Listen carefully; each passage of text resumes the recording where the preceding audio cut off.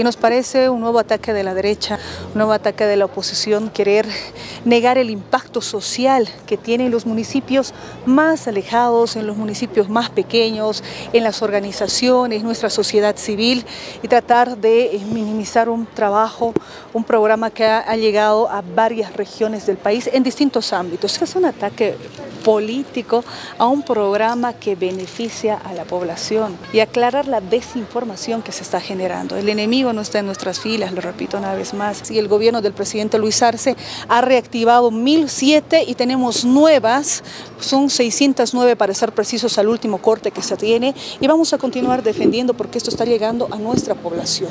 Y existe la transparencia respectiva, los procesos que se llevan adelante de manera eh, pública y eh, transparente con cada sector a través de los convenios que se firman. Entonces nos parece un despropósito que se trate de eh, empañar por parte de la derecha un programa que hoy está llegando a gente muy vulnerable.